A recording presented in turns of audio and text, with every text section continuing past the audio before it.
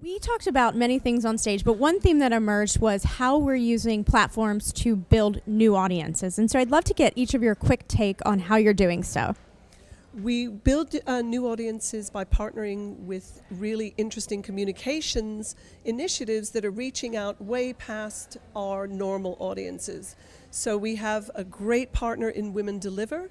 We also have another partner in Chime for Change, a big global concert in London, a terrific young audience, 15 to 25. Uh, well, we created an app, so it's not really a platform, but it integrates with all of the popular platforms, Facebook, Twitter, and so on, to allow people to express themselves and to earn money for good causes. Uh, so Games for Change is exec producer of a game called Half the Sky Movement, the game, and it's a game, an adventure game on uh, Facebook, the Facebook platform. So that's what we're that's what we're doing.